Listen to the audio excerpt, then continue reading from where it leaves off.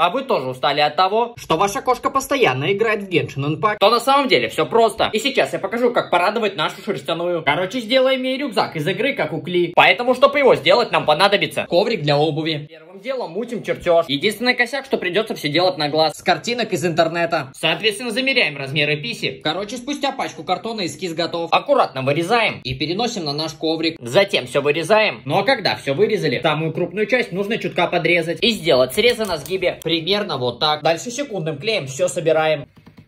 Вот так. Вот эти бляшки нужно покрасить. Можно обычной краской. Че, ну выглядит похоже. Шлейки клеим. Вот сюда. Вот Так. Ну вот и все, наш портфель готов. Не, ну вы только гляньте, это же один в один просто. А если учитывать, что я сделал его из коврика для обуви, то это просто пушка. Надо мерить на писе. Лапку сюда. Пися, ё-моё. Клею. В натуре. В принципе, портфель Писе очень нравится, и выглядит он достаточно на ней прикольно. И она с ним даже не расстается.